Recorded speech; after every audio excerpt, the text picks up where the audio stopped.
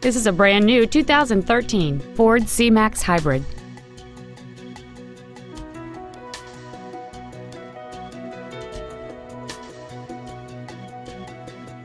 Its top features include commercial-free satellite radio, aluminum wheels, and traction control and stability control systems.